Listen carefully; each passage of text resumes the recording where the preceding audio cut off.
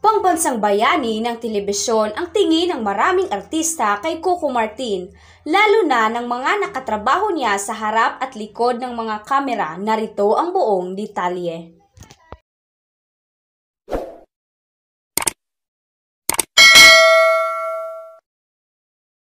Ngayong magtatapos ang FPJ ang probinsyano, ipinakita ng co-star ni Coco ang labis nilang pagmamahal sa aktor na naging daan para mabuksan muli ang showbiz para sa kanila.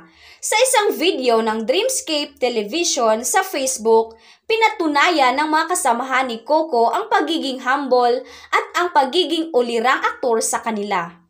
Si John Medina na gumanap bilang Belly Guzman sa serye ay itinuring na isang malaking karangalan ang maging parte ng teleseryeng ito. Si Mark Solis naman na gumanap bilang Rigor Soriano ay walang masabi kundi sobrang grateful and thankful po ako.